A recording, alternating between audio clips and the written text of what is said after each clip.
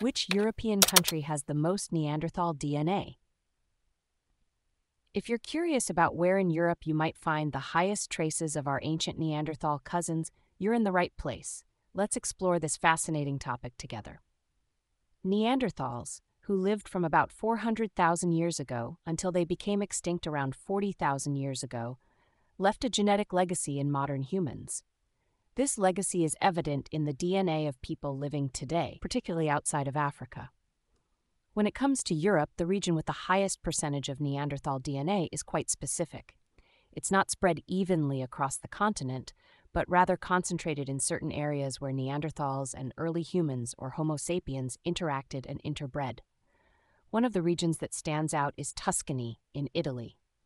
Here you'll find the highest ratio of Neanderthal DNA in the world. This suggests that the interbreeding between Neanderthals and Homo sapiens was particularly prevalent in this area. To understand why this is the case, let's look at the history of human migration and interaction. When early Homo sapiens migrated out of Africa, they encountered Neanderthals in various parts of Europe and Asia.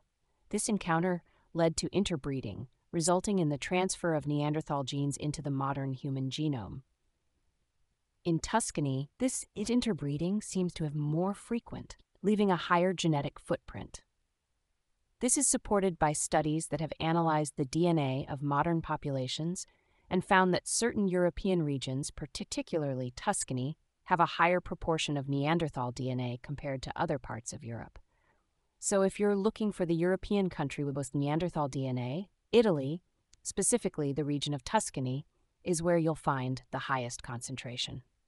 This unique genetic heritage is a testament to the complex and intriguing history of human evolution and migration.